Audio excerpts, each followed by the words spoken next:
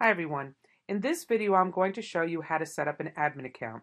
Now in previous videos I've shown you how to set up a root user account and admin accounts are a little bit different. The reason that you want to set up a secondary admin account is just in case your regular admin account, which is usually the one you set up with your computer when you first got started, if it gets damaged in any way, it's really good to have a secondary account set up that you can test uh, your browsers or if anything else is going wrong. And the reality is an admin account can create another user account if something goes wrong with your main one. So it's always good to have that secondary admin account set up. Here's how you do it. You go under your Apple menu, you go to System Preferences, you go to Users and Groups.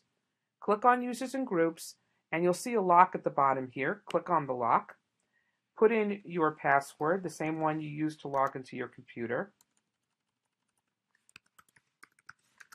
And once you do so, um, hit this little plus sign here at the bottom, and then you'll have the option to pick an administrator user, a standard, managed with parental controls, sharing only. So I would pick the administrator. You put in your full name, whatever you want to call it. You can put an account name, make it the same. You can use your iCloud password or you can use a separate password. And I'll set up a separate password. Then you have to put in the second password again. And then you can put a hint if you want. Um, a hint could be my dog or something like that. And then you create the user. Once the user is set up, as you can see, the one that I named here has shown up right here. You can, as an admin, reset passwords, so it's pretty cool. And you can enable parental controls on the account, but you don't want to do that because you want to keep this as a backup account.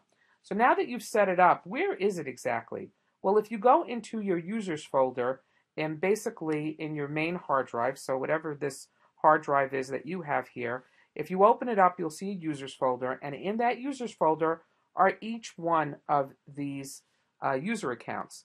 And that's how you get started by having a backup user account. Now, how do you use this new user account? Well, when you log out, you simply log in with this username and the password that you set up instead of the one that you had. Well, you may have uh, it set up to automatically log in. Well, if you do, you click on Login Options, and over here you can choose whether or not you're going to have an automatic login or not. I turn it off so I always have the option as to which user I want to log into. You can turn it on, turn it off, whatever you want to do. It will always work. But this is where you can actually select which account you want to automatically log in or just keep it off and be able to choose your account on the startup. So try out this tip. It's really good to have a backup account just simply to test and make sure that everything goes well. Another option here is you can see all of my different user accounts over here and basically you can switch between the two. So here I'm still logged into this window and I'm still logged into this account. I'm not going to log out, but I'm going to go to this account and here we go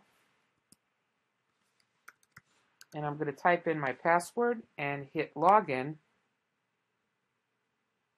and that's going to log me into that account. So that's all there is to it.